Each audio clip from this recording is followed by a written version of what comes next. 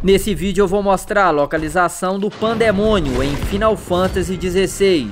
Esse inimigo está localizado nesse ponto do mapa, no reino de Wallet. Espero ter ajudado, um forte abraço e até a próxima.